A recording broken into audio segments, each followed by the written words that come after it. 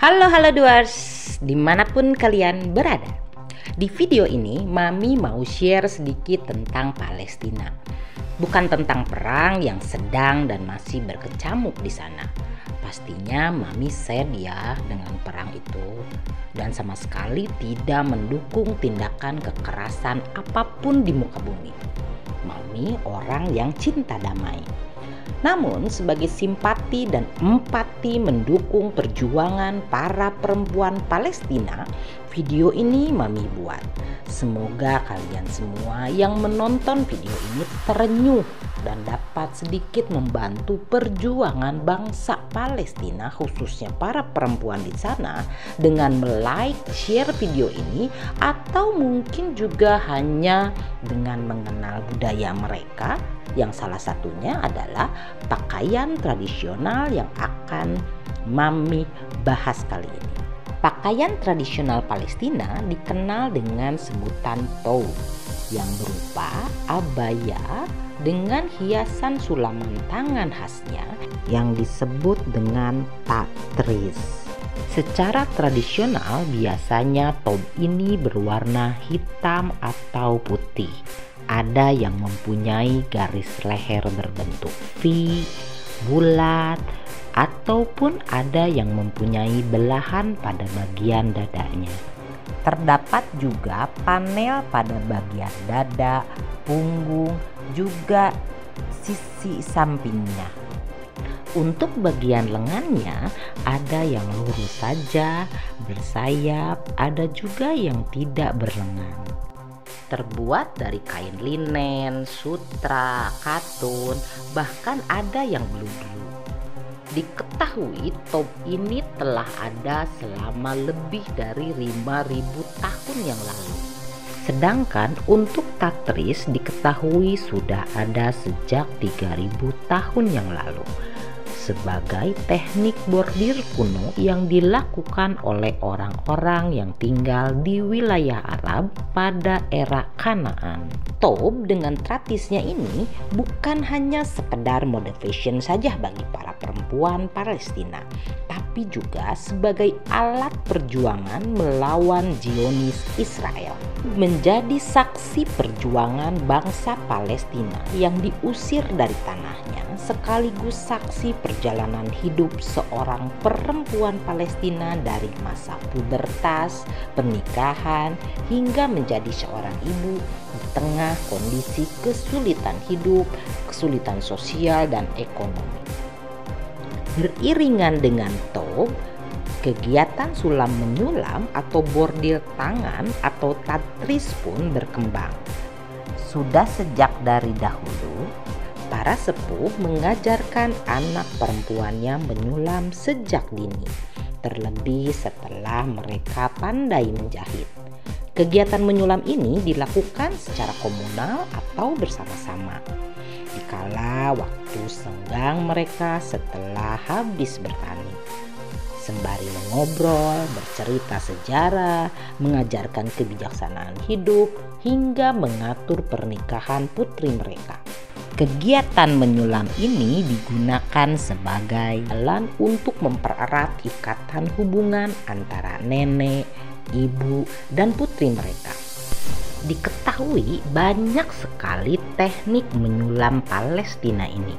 Namun yang terkenal adalah teknik jahitan silang yang disebut dengan falahi dan teknik jahitan sofa yang dikenal dengan tahriri. Teknik jahitan silang disebut dengan falahi karena jahitan silang ini banyak dilakukan oleh wanita dari desa petani dari wilayah selatan hingga ke wilayah tengah Palestina. Sedangkan teknik jahitan sofa atau tahriri biasanya digunakan untuk membuat panel depan gaun pengantin dan panel samping rok serta manset gaun tradisional di mana benang atau tali diletakkan dulu rata di permukaan kain kemudian dijahit pada tempatnya dengan jahitan kecil yang hampir tidak terlihat Talinya dapat diletakkan untuk menciptakan pola, desain, dan motif-motif yang berbeda. Dahulu benang untuk menyulam dipintal dan diwarnai dengan tangan. Warna merah dibuat dari kulit buah delim. Warna kuning dari daun anggur. Warna kuning kehijauan dari tanaman sumak dan warna hitam berasal dari kulit kenari. Namun setelah tahun 1930-an, kegiatan menyulam menggunakan benang sutra impor dan benang katun DMC. Proses penyulaman pada sebuah top bisa menghabiskan waktu sampai berbulan-bulan, bahkan bisa bertahun-tahun, tergantung dari kerumitan sulamannya.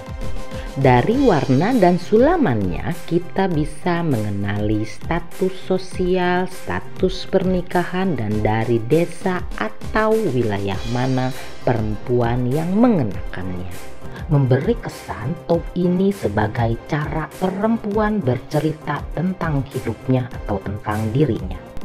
Misalnya untuk perempuan-perempuan di wilayah BRL Safa pengantin wanita akan mengenakan tob berwarna merah. Tetapi jika ia menjadi janda, ia menggantinya dengan tob biru. Dan jika ia memutuskan menikah lagi, maka ia akan menambahkan lebih banyak warna dan sulaman pada tob birunya, yang berarti bahwa ia siap untuk menikah lagi dan memiliki anak. Untuk wilayah Nablus, topnya berupa abaya dengan garis merah dan hijau. Dengan hanya memiliki sedikit sulaman saja, karena para wanita di sana bekerja berjam-jam di ladang dan menganggap jika terlalu banyak sulaman itu adalah tanda kemalasan dan kecerobohan. Untuk suku Bedouin atau Baduy di wilayah Negev dan Sinai menggunakan tob berwarna hitam. Untuk desa Beit Dajan wilayah Java terkenal dengan teknik bordirnya yang luar biasa pada tobnya. Menjahitnya sangat detail dengan menggunakan jarum dan benang yang sangat tipis untuk membuat sulaman seperti motif bunga jeruk, dedaunan, ataupun pohon kapresus. Taub Ramala dibuat menggunakan alat tenun manual yang terbuat dari kain linen putih berpadu dengan benang merah dan hitam dengan pola bunga yang berkesan mewah. Ada juga Tob Hebron, identik dengan desain salib falahi, multiwarna disertai daun, bunga, dan batang pohon. Ada juga Tob Gaza, dikenal dengan geometrisnya yang besar dan timbul, terbuat dari kain katun dan linen. Uniknya, Top Gaza ini didasarkan pada warna-warna benang yang digunakan. Seperti misalnya kain bergaris hijau dan ungu disebut dengan tob surga dan neraka. Setiap wilayah di Palestina memiliki pola-pola sulaman yang menceritakan kisahnya sendiri. Begitu juga dengan warna-warna tobnya seperti Yerusalem, Galilea, Yata, dan yang lainnya. Sebagian besar desain Tatris Palestina ini melambangkan kemakmuran, kesehatan, kekayaan, dan perlindungan. Semua toh berikut tatrisnya dikerjakan dengan tangan. Karena itu, top ini menjadi lebih bermakna dan memiliki nilai yang tinggi. Hampir semua perempuan muda Palestina memiliki top tradisional. Mereka menyimpannya karena top ini adalah warisan dari nenek atau ibunya sudah menjadi kebiasaan bagi tob yang ada tatrisnya itu untuk dipotong dan digunakan kembali sebagai hiasan pada pakaian yang lain atau pakaian modern mereka. Namun, setelah negara Israel berdiri pada tahun 1948 terjadi bencana atau Nakba di Palestina. Sebanyak 750 ribu warga Palestina diusir dari tanah mereka. Kegiatan tatris yang bersifat komunal pun tidak dapat dilakukan lagi karena bangsa Palestina harus terus-menerus mengungsi. Bencana pun sempat terjadi di tahun 1967. Sampai sekarang sudah lebih dari 500-an desa sudah dihancurkan oleh Zionis Israel. Israel juga merampas budaya-budaya milik bangsa Palestina. Salah satunya adalah tratis. Tetapi bangsa Palestina tidak diam begitu saja. Mereka melakukan gerakan protes. Yang pertama terjadi di tahun 1987 sampai 1993 dengan nama Gerakan Intifada para perempuan Palestina pun melakukan perlawanan terhadap pendudukan Zionis Israel terhadap klaimnya atas tidak adanya Palestina memprotes penghapusan sejarah dan identitas mereka. Seni menyulam tatris pun berubah menjadi tindakan perlawanan.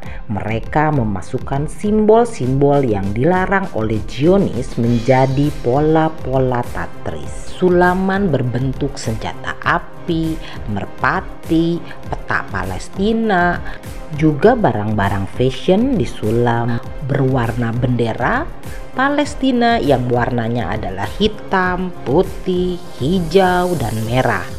Dan juga bahkan mereka menyulam kata Palestina dalam bahasa Arab dan Inggris pada tobnya. Tatris yang awalnya hanyalah domain pribadi atau sebagai domain komunal bergeser menjadi domain nasional, menjadi simbol pemersatu bangsa dan patriotisme. Tob menjadi bukti nyata untuk memelihara ikatan nasionalisme terhadap tanah air dan memelihara budaya bangsa. Penting untuk dicatat, Sulaman Palestina atau Tatris ini tidak menyertakan pola atau mewakili afiliasi agama tertentu terlebih Islam. Malah secara konsisten mereka mengekspresikan hubungan seseorang dengan tanah air dan leluhurnya, juga keanggotaan dari suatu komunitas atau wilayah para perempuan Palestina juga membuat Tatri sebagai wujud menentang norma-norma patriarki, bukan hanya sekedar sebagai ibu para pejuang atau prajurit. Mereka menggunakan seni tatris ini untuk mengurus diri mereka sendiri dan mendukung komunitas mereka secara ekonomi dengan menjual hasil-hasil karyanya untuk melangsungkan kehidupan.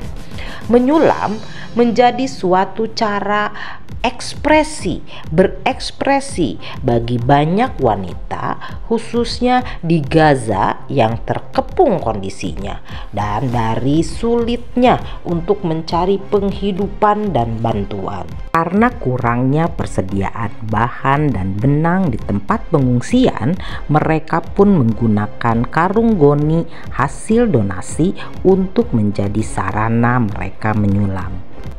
Pakaian tradisional Palestina ini, taub dengan tatrisnya, merupakan sebuah contoh kolektif para perempuan Palestina yang menolak untuk melupakan atau dilupakan dari masa lalunya dan juga menjadi metafora ketabahan seorang perempuan. Meskipun kini Tob tidak digunakan menjadi pakaian sehari-hari ataupun dikenakan ketika berunjuk rasa, tetapi tob ini digunakan dalam peristiwa-peristiwa penting seperti pesta pernikahan, kelulusan, atau acara-acara nasional Palestina.